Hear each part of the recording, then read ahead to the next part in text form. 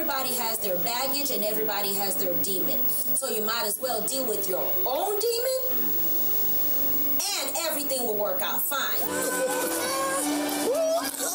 if you're not in control of your emotions, your emotions will be in control of you.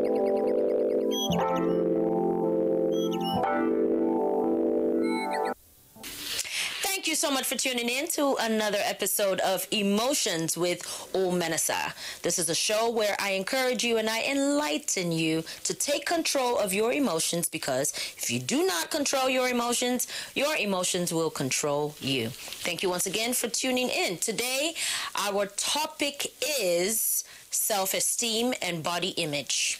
Self esteem and body image. What made me actually choose this um, topic is because I get a whole lot of people, men, women, who call me all the time and they send me emails and WhatsApp messages to counsel them. And here I am thinking, okay, I'll be counseling them on maybe like depression or suicide or, you know, all these common topics that most people go through. But it has shocked me of recent that people are really, really worried about their self image, about how they look, how they, and how that actually affects them in, in um, getting a job. You will be shocked that some people cannot get a job simply because of how they look. And that's really not the context in which I'll be talking about today. The context in which I want to talk about today is how it affects them because once again this i'm sure is on emotions and how it affects your emotions and what actually propelled me to to talk about this today is Huh. I received this WhatsApp message, and this person was just so upset, worried about if she was going to get married or not. Um, she was just so depressed. There was a day that she couldn't even go to work. Um, she was just so tired. She was bogged down. And I asked her what the root of the problem was. What is the issue with you? And she and it amazed me. She didn't talk about money. She didn't talk about maybe her parents. She didn't talk about all these factors that would weigh a person down. What she said was about her size and she used the word size. She didn't say my body image. She didn't say how I look. She didn't use some kind of psychedelic word to explain this situation in her head. She said my size. And that really stuck with me. It really stuck with me because I remember when I was literally a twig I was a twig. Nowadays, people look at me, ah, you have gained so much weight. What is going on with you? Are you sick? Are you pregnant? Do you have triplets? What is going on? You know, and it makes me laugh because there was a time that I was literally a size zero. I used to go to a store called Dots. This like the store like does not even exist anymore. Um, well, from what I know, but that was the only store that sold a size zero. I mean, I couldn't find anything to fit me. It was inconvenient for me.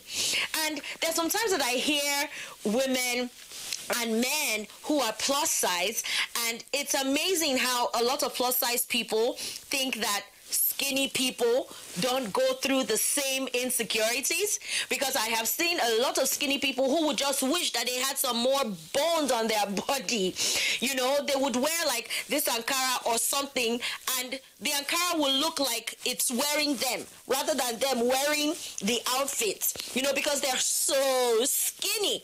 But then again, we also have the commercial world um, of models, makeup, acting industry, even radio industry where you don't see people, you will be amazed that a lot of these workers, OAPs and and actors and models are still chosen based on their size. I know this for a fact. There was a time that I traveled to London and I was really, really interested in in pursuing my modeling career in that route. And I remember them saying how I had to be a certain size and oh no no no no mm, mm, no you can come back next year or you can try that company not this company because this company we have a certain weight and nowadays before you you you are even considered to be auditioned you would have to to to write down there's a form. You would have to write down your size just in case you lied about your waist you know. You would not be lying about your bust line like like you're probably going to lie about either or. So they make make sure that they know what that number is. And i'm not saying that these people don't don't have a market and all of that but you see this affects the psyche of people. And that's what i want us to talk about today because when I was so skinny, I remember eating, drinking bottles and gallons of Ensure. I was drinking all kinds of milkshakes and everything just to gain weight. And now I'm doing everything I can to lose weight. You know, so the whole point is not about how big or how small. It's not a size issue. Self image is about what you feel on the inside, it's about what you think about yourself. And now I have come to a place in my life where I know that I am absolutely beautiful. Whether my teeth are crooked or I have big eyes or I have big uh, uh, cheeks or whatever it is, when I gain weight, God has not blessed me in a way that I gain weight in the right places. I gain the weight in my face, all around my face and my neck and and um, and chin are connected to each other. It's a very very it is an annoying thing. I don't like it, but I have grown to embrace myself and love myself just the way that I am. And I started this really by I stopped wearing acrylic nails. I do wear acrylic nails sometimes, but it's not a do or die thing where if I don't wear it, I can't go out. There was a time that I couldn't walk out without makeup, and most of you know if you follow me like on social media, you would see that I barely wear makeup unless I am singing unless I am preaching or unless I'm doing this uh, show. But my everyday life, I am working in a facility as a nursing assistant. I do not have the energy, and my patients are not looking at my face. So it has helped me to be very, very comfortable in my skin. And that's what I want to encourage you today is to be so comfortable in your skin and you may want to do something drastic. Really, that was what happened for me was I stopped wearing acrylic nails and I forced myself to go out without arching my eyebrows. Today, I am telling you that today was was the first time in about a year that I've arched my eyebrows.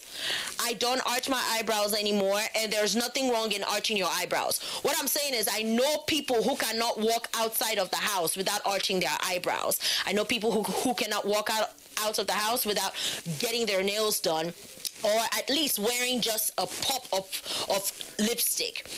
Get to a stage in your life where you are comfortable in your skin, where you can look at your rolls on your tummy and you can just embrace it because it's not going to get flat today.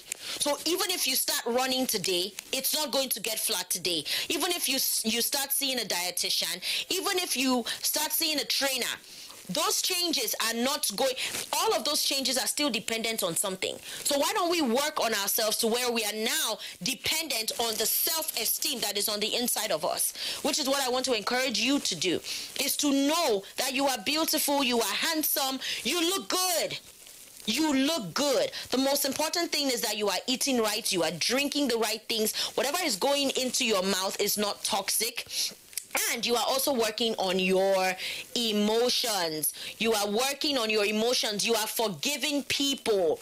Yes, there is a correlation to unforgiveness and depression. There is a correlation to to your body weight.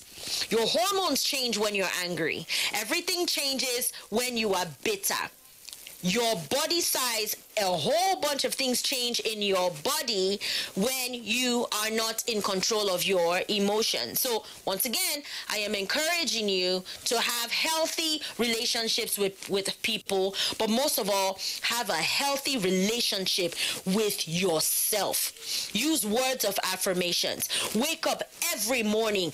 It is a beautiful day.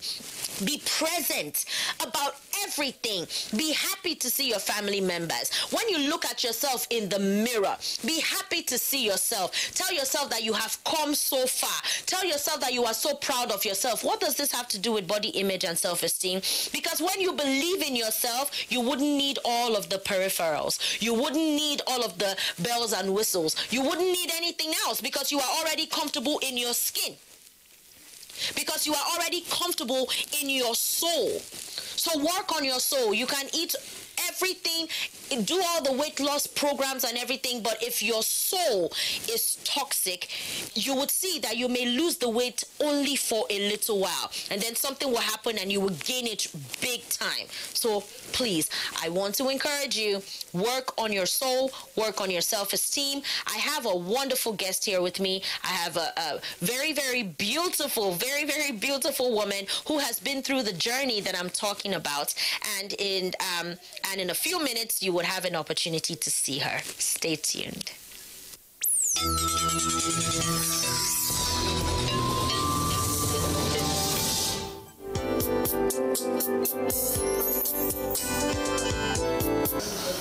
Thank you so much once again for tuning in to another episode of Emotions, and I am here with my guest, Grace Ejembi. Thank you so much for joining us today. Thank you. God bless you. Thank you very, very much. Um, so today our topic is on body image and what what like why I said you have to come on this show is because of what I found out about you. Um, first of all, you had a broken engagement, and then you also decided to adopt a child, and all of this has to do with what you felt about your size. Exactly. So, what's going on with you now? Thank you so much. God bless you. Mm. Um, thank you for having me here. Actually, years back, I had an engagement that went bad because of my body size. I got a call and he told me his mother cannot accept me because of my body size. I felt bad and to be truthful, I attempted suicide. So I was thinking of who to call, who to contact, who to talk, someone to talk to me. I just want to listen to someone talk to me, something to give me hope to come back again. I just had to dial your number. And I asked to speak with you. So you gave me the audience. I feel bad about my body size and I told myself, is it that people on same category with me we can't have a better life because of how we look or how god created us to be? I started thinking so many things that i decided to say okay no problem. You are doing well. Go and adhere to your mother's instructions. Don't worry i'll be fine so I said to, I told, I told, I told, I told a friend of mine, I said, why not? Okay, let me just get a child to be around me. I just want to have someone around me to be happy. Since I can't have a man around me, let me get a child that will be around me and I can be fending for that child to take care of the child as my own child. Since I can't have a man that will call me his wife let me just accept my fate and go this way. So I called you that fateful day. You really spoke to me well. I slept like a baby that day. And you gave me confidence. I had to get up on my feet and embrace who I am. I had to do the things that I was not doing. I adhered to everything you told me. I took every step you asked me to take and I started loving myself. I started loving myself before when I'm about going to the office, I look at the mirror, I'll say, Oh, this girl, you are pretty, you are hardworking. What is the problem? So I really, really want to thank you for saving me that day. Thank you. Honestly, you. I didn't even put my parents into consideration. I just wanted to do something drastic to myself if I spoke and, to you. And you know what? It's okay to have felt the way that you felt. It really struck me when you said that you actually attempted suicide which you you wanted to kill yourself. And so exactly. i know that other people are going through this. A lot. I know that other people are going through this. Why don't you shed light on how being a plus size woman has probably affected your job or just affected like how people speak to you or their impression about you? Have you had any encounters at work or even getting a job or even snide comments? People making comments, you know, at you, unsolicited advice and things like that. Yes, I have so many times. Um, 2014, before I could get a job with bank, when I went to see the manager, the former manager of Zone 4 branch, I'm, I'm a businesswoman and I'm, I'm a realtor, I'm into property. So he decided to say, okay, let me help you with a banking job so you can maybe further your education. I said, no problem. So he told me, I don't think you can do this job. Look at your size. I said, sir, I can do anything. I can do anything. Don't worry about my size. He said, can you can you be a, can you be an RM? Can you go about? Can you move around? I said, sir, just give me a try. What I'll do it. Relationship manager. Okay. So I told him yes. So they called me the previous month. I went for interview training and I started the job. To his greatest surprise, I was even leading in my team. He said, Oh, you surprised me. I thought you won't do the job well. I said, I don't allow my body to weigh down the strength that I have. I can do what 10 people cannot do. Then he will call my branch. I do very well in all my KPIs. So he said, Well, Grace, I'm, I'm impressed and I'm proud of you. So when I hear people saying nasty comments about me, my body size, who I I just look at them and smile because to me, I feel they have no knowledge of what they are making that individual going through. Go because somebody can somebody can decide to do something harmful to themselves based on what you say to them. So when they say those things to me, I'll tell them, thank you. I am created in the image and likeness of God. Uh-huh. And I am embracing my beauty. Uh-huh. And I'm embracing my body and myself. Uh-huh. Your compliment, the comment you throw to me does not mean anything to me. As a matter of fact, the comments are compliments. Because they actually reveal what you feel about yourself, and then you could also work on your esteem based on whatever they are saying. Really, I I applaud you. I really applaud you for your courage um, in in in um, talking about this and in actually saying that you wanted to kill yourself. Let's just go back a bit though. Let us uh, let me ask you. You said that your ex fiance, he, his mother had an issue with you being a plus size. What about him? What were the comments that he made? he when he called me he said that he can't continue but unfortunately for him right now he later gained a good job maybe the mother saw that maybe he will gain weight and i maybe with the weight we both cannot be together as husband and wife because right now he's even bigger than me and not yet married because the lady the mother designed for him to marry mm. marry someone else mm. and now he's still single Amazing. Amazing. Okay, so basically, you have gone through self esteem issues, you have attempted to kill yourself, you have been ostracized and marginalized, um, trying to get a job, people making snide comments about you. What are the tips? That you took to build your self esteem. How do you feel about your body now? Um, have you seen a doctor? Are you working on this? Is this genetics or is this um, something that was gained upon? So, so is this a genetic thing or is this an emotional thing? Is this why should this even be a thing? Or since it's a thing, let's talk about it. It's a genetic. It's genetic from my mother's side. Okay. But um, when I was growing up, I think I started gaining weight when I was 24. I started gaining weight, but when I checked through, uh, my I I have six siblings. We are seven girls. I and my sis, um, little sister were on the big side, so I checked very well, and I noticed it's from my mother's side. So I actually have a dietitian.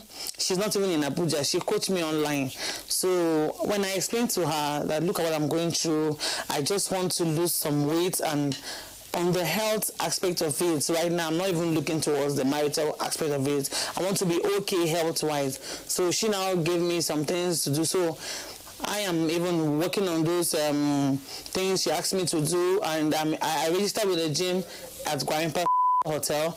I go there after work maybe twice, maybe three times a week. I go there to gym, and I feel good about my body. I decided to embrace my inner beauty, embrace myself, and I decided to let go of what people say about me or who I am. I look at the mirror every day and I said to myself that I'm a great personality. I will not allow what people say about my body to weigh me down. So it's a genetic from it's a genetic thing from my mother's side. So if it's genetic, the chances are this weight is not going to come off. Totally, it won't come off totally. Even when I saw my doctor, he told me, I, I, he asked me what my desirable size. I said size 10. He said, no, that cannot be possible. You cannot be a size 10. But I, will tell you tips to do to work on yourself because of the health aspect of body. it. Yes. Because you can tone, you can actually tone your body to where you, you, you know, have have um, have this desired look of where you look put together, right? Yes, that is what I wanted to gain. Okay. That was the reason why I had to see a dietitian and I went to see my doctor too. I, have, I, I complained to my doctor that I have this challenge of, okay, when I'm going through the weight loss process, that process of the cleansing process, okay, I'm doing my work effectively. Once I start, I'll start getting weak. I'll be tired. I don't need to do anything because I want to lose weight. So he now advised me on what to do and he spoke with my dietitian and we're working towards it and I'm happy that it's a gradual thing and I'm going down gradually. I don't want it to be a drastic thing so it won't harm me. You are, you know, it's like it's funny that you are my guest because you are just a gorgeous woman. Thank you. I mean, I'm just looking at you and you are gorgeous from head to toe. Thank you. Now, there was a statement that you made that I kind of wanted to tweak a little bit. You know, you um saying that you are working on the health aspect and not even the marriage aspect. Yes. And it made me wonder how how your body size is now synonymous to marriage. And uh, our body size is cannot and should not be synonymous to marriage at all. The way that we look like we just said, is from genetics or maybe from what we are eating, from our diet, or from where we are emotionally in our lives. And so that shouldn't have anything to do with marriage because marriage is is is is about love, is about a commitment, is about planning towards the future and expanding and having children. All of that should have nothing to do with your body size. Now, let's quickly talk about how this has affected your energy? Does it affect your energy? Then it affected your my productivity? Energy. Um, yes, yes. Um, when you say productivity, in what aspect? Yeah, yeah, is your energy. Same thing.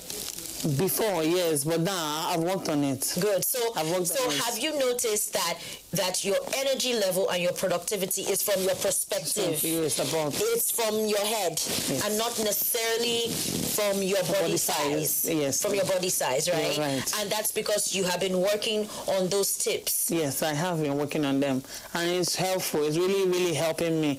Right now, I have a peaceful life. I have a peaceful life and I'm, I, I always pray that God will make his plans to work in my life according to how he designed it. Thank you so much for being here. Thank once you so again, much. Thank you so much for being here. Thank you so much once again for watching Emotions with Omenesa. Until next time, bye.